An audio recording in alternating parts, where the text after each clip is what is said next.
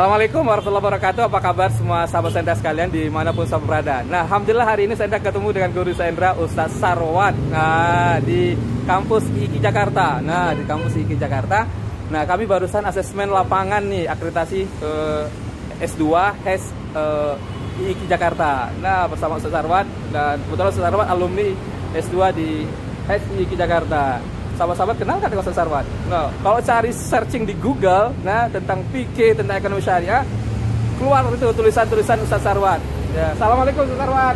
Waalaikumsalam warahmatullahi wabarakatuh. Sehat Ustaz Sarwan ya? Alhamdulillah. Nah, gimana Ustaz Sarwan nih? Apa nih pesan Ustaz Sarwan untuk anak-anak muda yang lagi belajar ekonomi syariah nih? Ya, ekonomi syariah itu ilmu yang masih berkembang terus. Hmm. Jadi, kalau belajarnya 10 tahun yang lalu, nah. hari ini sudah kuno.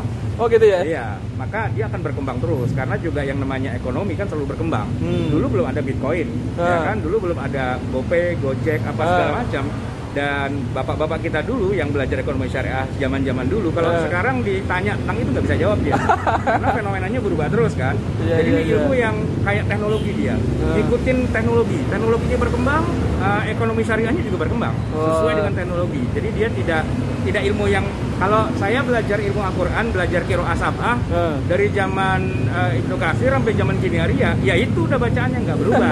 ilmu yang stuck di situ gitu yeah, kan, yeah, tidak yeah, berubah. Yeah, Tapi yeah. kalau ekonomi syariah, hmm. uh, Anda tidak update hari ini, besok hmm. Anda masuk museum masuk yeah, iya, sejarah yeah. gitu loh. Kenapa? Karena dia berkembang terus gitu kan. Maka beliau ini wah, ini wah, dosen luar biasa. Kalau belajar ekonomi syariah, ini orangnya. Wah, ini terbalik, terbalik. Saya aja. saya saya ngelihat dari jauh aja. Eh, luar biasa. Hidup Ustaz Sarwan luar biasa bermanfaat. Tipnya apa sih kiatnya setiap hari kok rajin nulis Ustaz Sarwan di uh, Google atau di mana? Saya perhatikan rajin banget menulis menjawab pertanyaan-pertanyaan umum. apa sih mimpinya apa sih? Niatnya apa sih? ya, saya itu sebenarnya pengangguran. Nah. Jadi saya nggak punya kerjaan, saya bukan pegawai, bahkan saya juga bukan dosen, nggak seperti guru kita ini ya. Saya nggak punya kerjaan. Jadi daripada saya nggak punya kerjaan ya, saya nulis aja. Ini pakai HP, ngetik aja gitu. Apa kayak yang terlintas gitu. Kalau nah. kalau penyanyi seniman, uh, sedih nyanyi, suka nyanyi, lapar nyanyi. Nah kalau saya sedih lapar semua ya saya ngetik aja gitu aja sih modalnya. Makasih. HP saya ini saya beli mahal-mahal kalau cuma buat TikTokan kan nggak seru. keren keren keren keren wah Epo keren keren kan.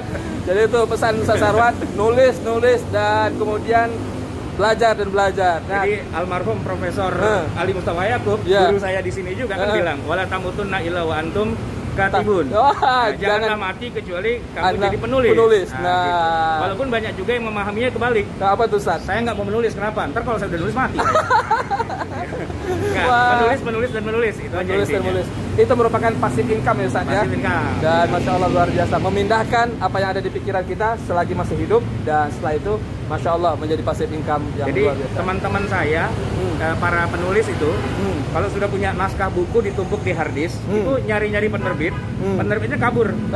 Minta diterbitin, penerbit nggak mau. Hmm. Kalau saya diuber-uber sama Gramedia. Oh gitu. Wah, okay. Barakallah, makasih. Salam ekonomi syariah, makasih. Assalamualaikum warahmatullahi